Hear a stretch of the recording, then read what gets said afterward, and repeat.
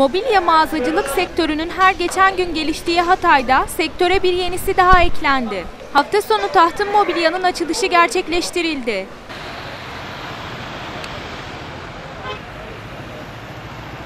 Defne ilçesi Harbiye Sinanlı yol kavşağında gerçekleştirilen açılışa Defne Belediyesi Başkan Vekili Tuncay Mengüllüoğlu, protokol üyeleri, aile dostları ve davetliler katıldı.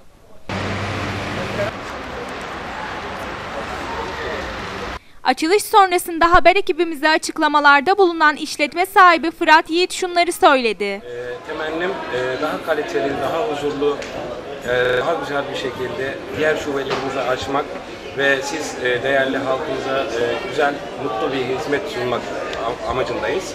Açılışta davetlilere ikramlarda bulunuldu.